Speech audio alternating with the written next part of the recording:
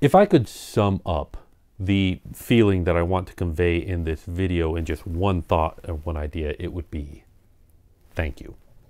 Thank you to you who watched my videos this past year. Especially thank you to those of you who supported me on the Printer Block Skyforce Kickstarter. And thank you especially to those of you who back me on Patreon. Your support, watching and going the extra mile, supporting me in other ways, is really is really something that I have to be very grateful for. You guys make this channel possible. You help to support me and my family, and it's absolutely wonderful. Thank you guys. I feel like I've been in problem solving mode for the past year. There have been a number of things that have just been kind of boiling, and for the past couple of months, I've really been working on these problems, and they're coming to a head now where I can tell you about them. The first one, the biggest one, is well, I can't post a certain type of video on this channel. If I post a video about using Blender, it always, always tanks. And you know, I could blame the algorithm, but it's not the algorithm. It's the fact that those sort of videos are just kind of tonally dissonant from the normal sort of video that's on this channel. And so I really need to focus on this channel, but I really love making Blender content. And so I have a solution. Blender for 3D printing. I don't know how that username was not already taken on YouTube, but it wasn't, and it's now mine and I am now producing videos on that channel that are all about Blender. There are Blender tutorials, there are Blender project videos, and the vibe of that channel is going to be a little bit more mellow and laid back. It's going to be relaxed. It's going to be let's just make something and have fun. I'm even in you know playing with the idea of doing some ASMR support removal just just for a little bit of fun. And that channel is one that I am going to be producing videos on in addition to the videos on this channel. Now that does mean that I'm probably going to be producing fewer videos on this channel. I'm going to be splitting my time now between two channels and I haven't suddenly got a new whole amount of time. But I'm not done here and that's that's what I want to emphasize is I've still got videos to make on this one.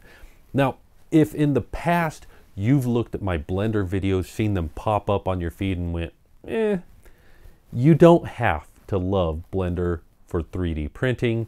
You can continue to just stick with me here and I'll stick with you guys and we'll have a good time. But if you do enjoy watching stuff get made in Blender and just hearing me chit chat about whatever's on my mind at the time, well, I hope you'll check that channel out and hopefully we'll have a good time over there. So that's number one.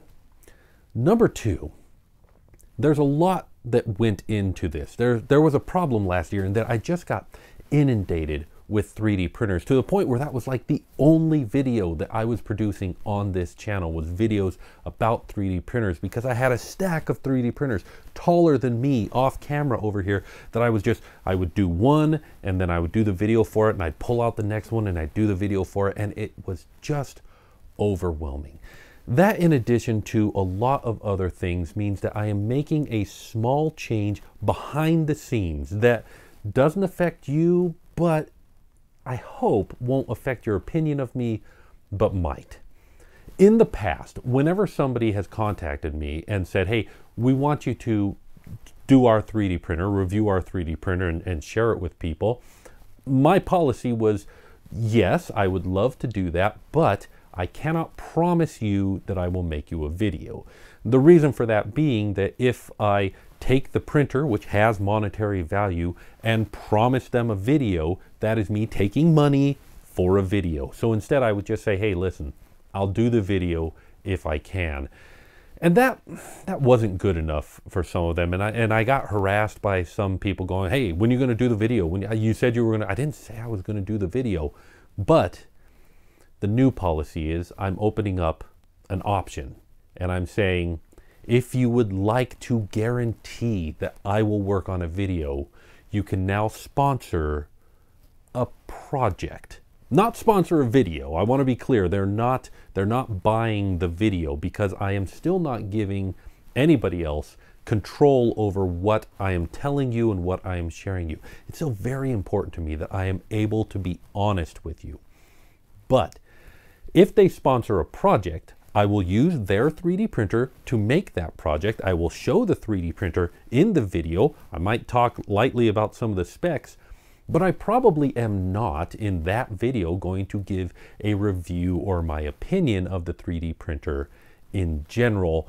What I am going to do though is if I feel there's a reason to or a reason to expand on that more, I will make a second video, a review video about that 3D printer, not about the project, just tell you my honest opinion of the 3D printer. Break it down in the ranking, put it in the big list of, of my all the 3D printers I've reviewed spreadsheet and all that stuff.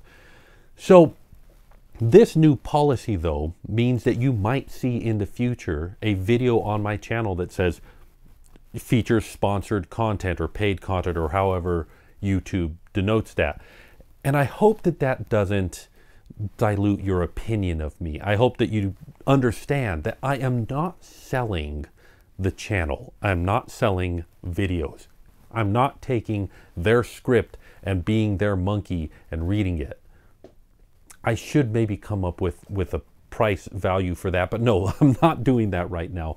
I am giving them the opportunity though to guarantee that I will make a video for them by sponsoring a project. So just understand that that might be coming. And I hope that that doesn't, I hope that you guys will still stick with me and understand my reasons for doing that. It's, it's, there's, like I said, there was a lot of reasons that went into it, but one of which is just, I was overwhelmed and it, it was stopping me from doing the content that I wanted to do. And so this is a way that we can kind of split the difference there. I still want to look at new 3D printers. I still want to evaluate them and see if I can find a new recommendation to share with people. But the truth of the matter is, I don't need most of these 3D printers. I have all the 3D printers that I could want or need. Now, if a manufacturer contacts me and they have a really high-end, really good 3D printer that is, quite frankly, I'm excited for, those guys I might say, hey, listen, I, I I will do a video for you.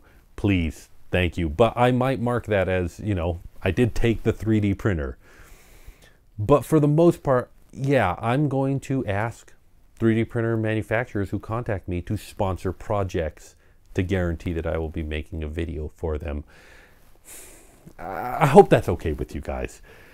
Guys, it's it's going to be an exciting 2023. There's more that I want to share with you in this video, but I think I'm going to stop myself there. Like, I mean, for instance, I want to talk about how I've rearranged the space. Notice the table's gone. It's over here now. And, and I'm going to be doing some things with that, I hope, in the coming year. But for now, thank you guys for sticking with me up until now.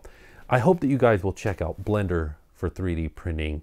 I hope that you guys aren't taken off guard by any other changes that might happen. But you know, if you want to talk about it, if you want to express your opinion about it, the comment section is down there. I'm on Discord, Twitter, and now on Mastodon. And I would love to hear from you your thoughts and opinions about this. And if there's anything else I can do to make this channel or the new Blender for 3D printing channel better, let me know. I'm, I'm all ears. I want to make the stuff that you guys want to see, but as always, thank you thank you very much for watching. Thank you for all that you do. And I hope that 2023 is a good year for you. I'm going to be doing everything I can to make it good for me. And I'll see you then.